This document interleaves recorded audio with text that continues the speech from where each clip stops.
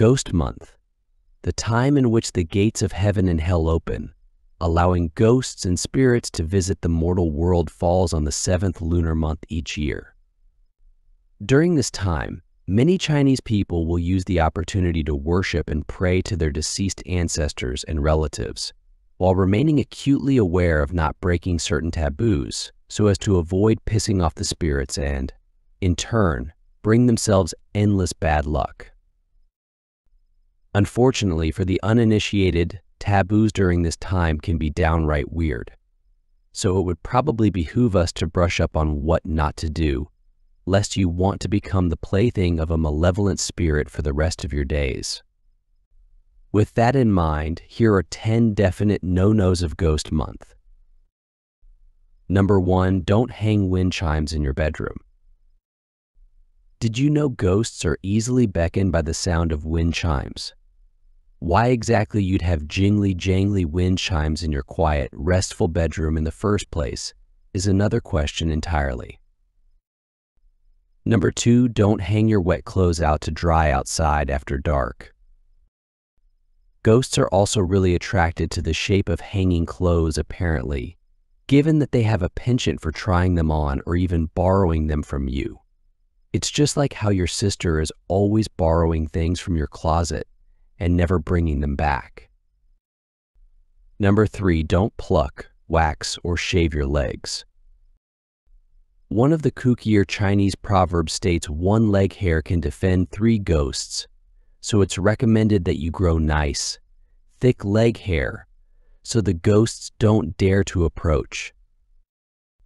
Number four, don't call people's names out at night. Word on the street is that if you call out a person's name at night, a ghost might hear it, remember it, and then try to steal that person's spirit. So try to keep your ecstatic screaming to a minimum in the bedroom. Also, if you happen to hear your name being called out, whatever you do, don't look back over your shoulder or respond if you don't recognize the voice. You've been warned. Number five, don't lean against the wall. Ghosts like to rest against walls because they enjoy the cold, comforting feeling it provides. That makes wall leaning a no-go for the rest of us, though given that if you lean against a ghost leaning on a wall, you too might get haunted. Number six, don't pick up any money, coins, or red envelopes you find on the road. Just as with other ancestor-related holidays, people will burn money as offerings during Ghost Festival but that's not the only Chinese custom related to money during this time. You must also resist the urge to pick up any coins, paper money, or hongbao that you may happen upon in the road because according to superstition, this money could be a dowry for a posthumous marriage. And if there's one thing that riles ghosts up more than being dead, it's a messy posthumous divorce. Number seven, don't put your arms around or pat someone's shoulder. According to Chinese folk legend, there are three torches or fires of life that burn on the human body, two of which rest on your shoulders, while the third is on the top of the head. When you put your arm around or pat someone's shoulder, you're temporarily putting out their fire of life. While normally this is okay, during Ghost Month, it will make the receiver of a good pat down appear much more vulnerable to any passing ghosts, who may then try to steal their spirit. Number 8. Don't whistle at night. People believe whistling at night will draw the ghost's attention and make them follow you home. Number 9. Don't take pictures at night.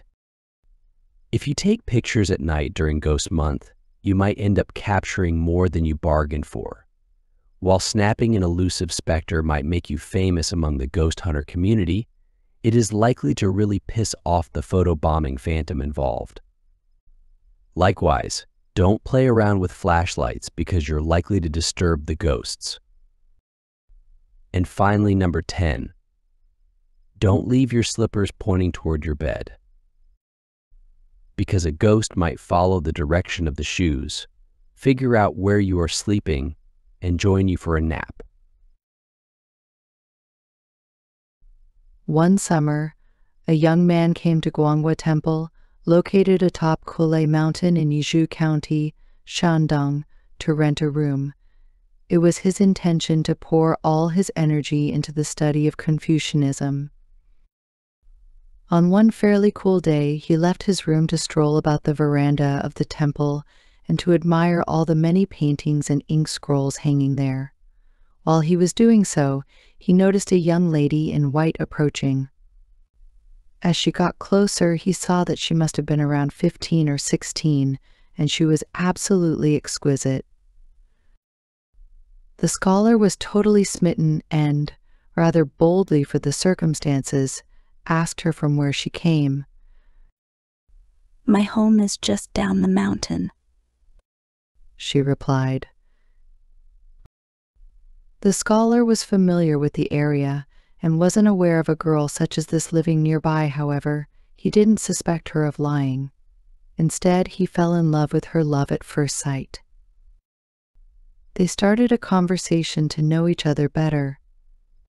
Very shortly, they became husband and wife. The day they were wed, the bride turned to her husband and said, We belong to each other now and we shall be together when our heads are white in our old age this evening, though. I must return to my family home, but just for tonight. Starting tomorrow, though, we shall never be separated again. May I at least go with you? He asked. No, she said. She insisted she must return home alone. Well, the young scholar, now the young groom, was disappointed, of course, but his bride remained unyielding. The arrangements would just have to be this way. So before his bride left to go back down the mountain, the groom gave her the white jade ring he normally wore. Let the ring be a reminder to you whenever you see it, he said. Let it remind you to return to me as soon as possible. They walked to the gates of the temple. May I at least accompany you to the door of your family home? He asked. No, my family members will probably be waiting for me outside. It would be a bit awkward with you there, with our marriage and such. Please stay here and wait for me to return to you. He said goodbye to her and watched her walk down the hill. She never turned back. Before she had gone 100 paces, though, she suddenly vanished into thin air. The groom was beside himself with fear and shock. He ran to the spot where his bride had disappeared.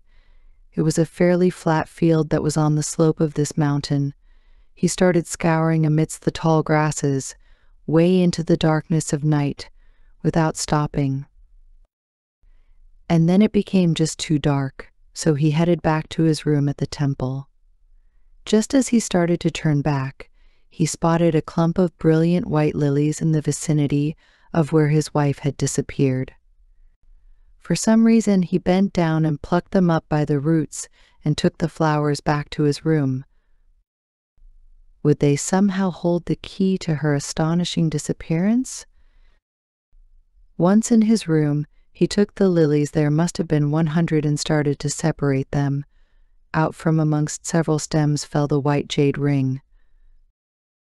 He then realized the awful truth he had been married to and in the intimate presence of a ghost. How he regretted what he had allowed to happen, but there was nothing he could do about it now. It was too late. Not long after, he came down with an illness. Within ten days, he was dead.